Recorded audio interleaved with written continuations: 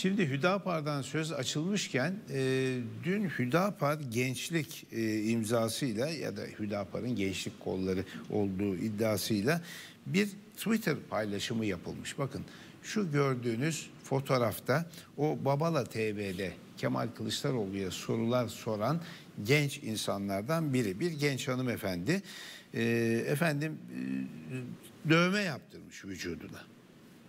Dövmeli bir hanımefendi. Kollarındaki dövmeler gözüküyor. Rahatsız olmuşlar Hüdaparlılar. Ve diyorlar ki dövme yani vücuda iğneler batırarak deri altına boya zerk etmek suretiyle şekiller çizmek dinimizce yasaklanmıştır. Dinimiz derken sizin dininiz. Ayrıyeten sizin dininizin ortaya çıktığı dönemde dövme var mıydı yok muydu o da tartışılabilir.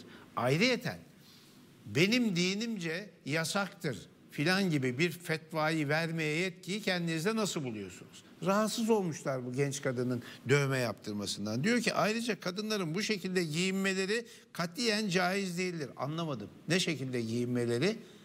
Bu şekilde giyinmeleri. Sana ne? Bu kadın ya da o kadının arkadaşları, o kadın gibi giyinenler ya da biz sizin giyiminize karışıyor muyuz? Ya da karışıldığı zaman nasıl tepki gösteriyorsunuz? Bu şekilde giyinmeleri katiyen caiz değildir. Fetva veriyor. Diyor ki böyle giyinme diyor genç kıza.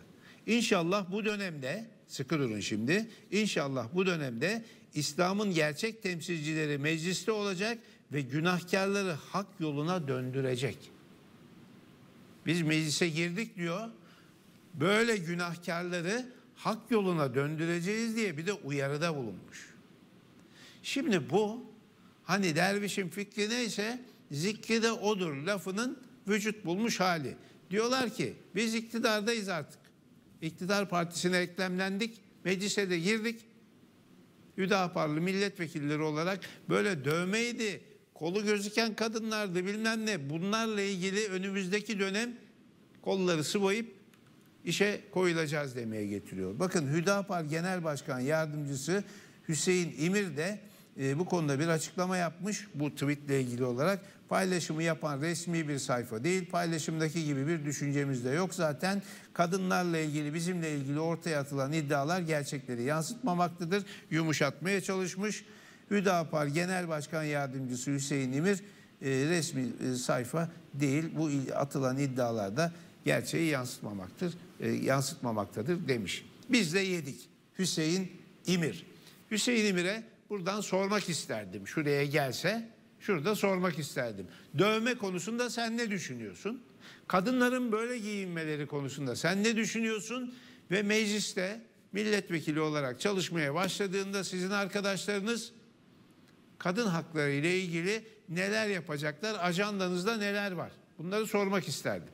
Şimdi tabii hani mesele sıcak. Ya çok fazla tepki de almayalım. Şimdi reisi de AKP'yi de filan gücendirmeyelim. Zor duruma sokmayalım seçim öncesinde. Çünkü bunlar önemli şeyler.